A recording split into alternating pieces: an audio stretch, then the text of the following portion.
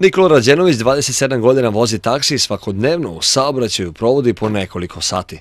Nikola se slaže da zimske gume nisu jeftine, ali da je za njega bezbednost na putu na prvo mesto.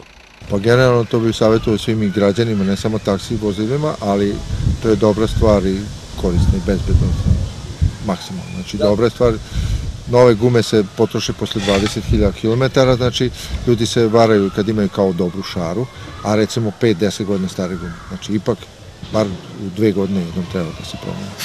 Vulkanizeri kažu da se kupovina novih guma još uvek nekako stidljivo obavlja, najverovatnije zbog njihovih cena, ali očekuju da će se krajem meseca promet povećati. Cena zavisi od kvaliteta i proizvođača gume.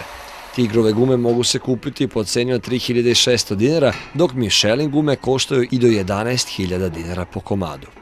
Jako je potrebno. Skroz je drugačija vožnja u zimskim uslovima sa zimskim gumama nego sa letnjima.